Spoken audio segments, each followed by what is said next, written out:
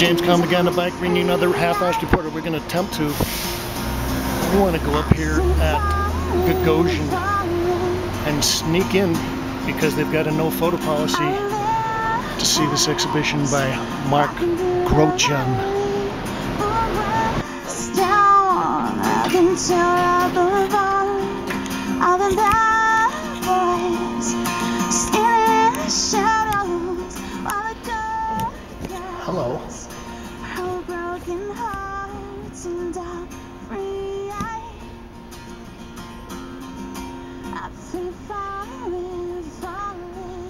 Is this the complete show or is, does it extend downstairs? Or?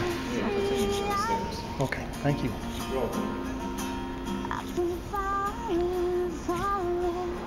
I was uh, over at the Wade uh, Guyton show at the Whitney and uh, went by Michael Werner to see the uh, the Nay show, and I happened to see the uh, sign for this Mark Grotjahn show downstairs. So uh, we had to go on our uh, down low mode because I wanted to come up and capture this.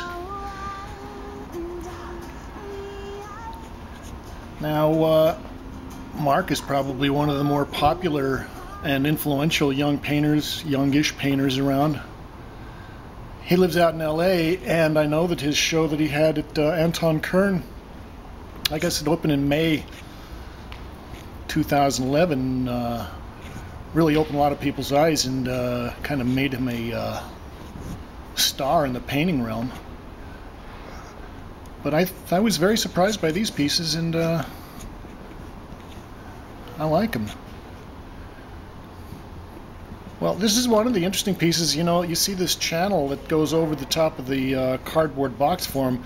These are all sprues. Now, this is what uh, the people at the foundry would use to pour the bronze in, and Mark has just left those on some of these pieces because the uh, the structure was so beautiful.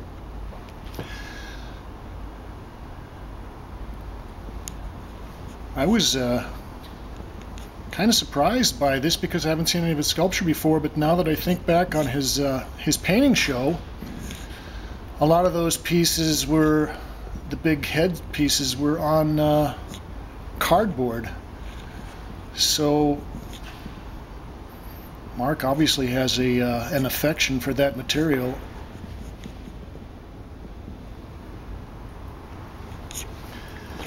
I think they must have cleaned them up and sandblasted them because they have a very nice velvety finish.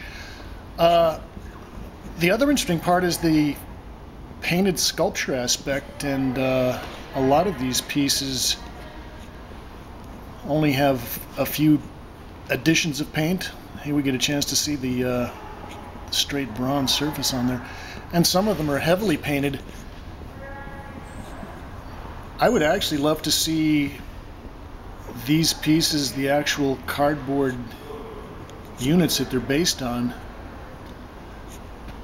and see whether or not they have the same the same quality. You know, this kind of trompe l'oeil effect. Uh, it's nice, but I'd love to see what this looks like with the uh, paint soaking into the cardboard. Now, those two holes are uh, kind of a motif that Mark has been using for the last three or four years.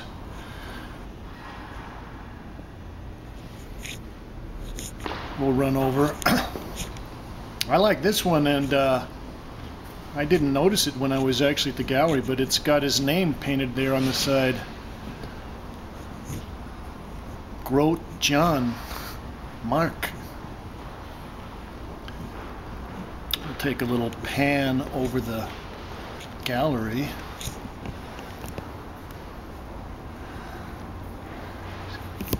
It's almost a, a question of whether these are sculpted paintings or painted sculpture. And in certain ways, this relates to people like Robert Rauschenberg and maybe even Cy Twombly. That's a very minimalist piece. I kind of like that one. It's very stark. Makes me think of Don Judd.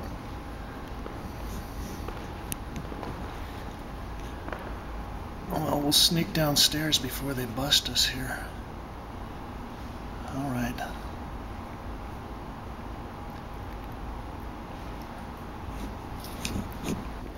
Thank you.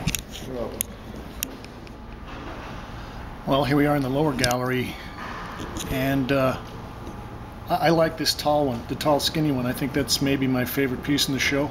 It's a little unusual. Mark has got a great uh, sense of his materials, and uh, you know, it'd be real easy for someone to get very precious about these, but uh, he doesn't. These still have this kind of scruffy, abject feel to them. And I mentioned uh, Don Judd before, but when you walk around these pieces and uh, kind of look at the empty spaces, it does relate to the kind of spatial ideas that Judd was playing with. And uh, creates that kind of uh, dialectic between uh, the artificial created space of painting and the actual volumetric space created by sculpture. Like that one too, the two, just the two simple eyes.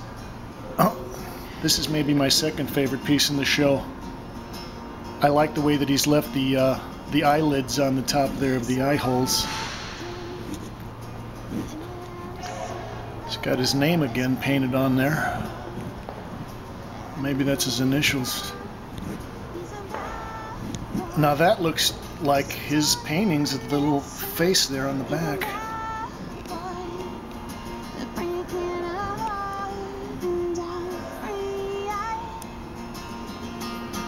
Well, I have snuck into Gagosian and I've taken photos of uh, Damien Hirst and uh, Robert Rauschenberg collection. And uh, I was over at the Whitney early earlier, and they they think it's great if somebody comes by and makes videos.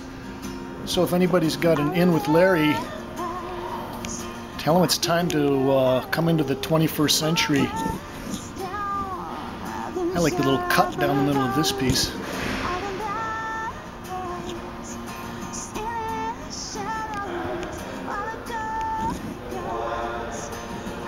This one is painted on both sides, and I like the flopped over piece of uh, cardboard. Very spontaneous. Well, we'll take a little run by as we try to get out of here without getting caught. MPG.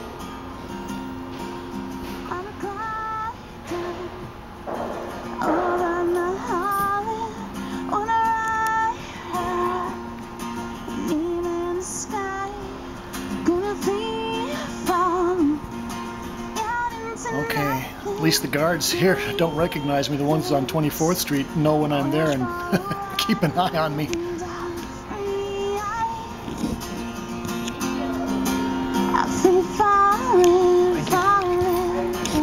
Well, okay, operatives.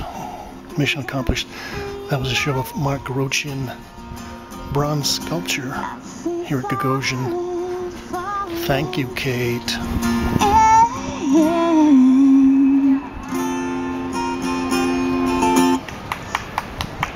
What, what's your name? Tara. Tara. You have a website and all that stuff? Yeah. What is it? www.tarahack.com. H A C K. Tarahack.com. Thank you, Tara. Thank you.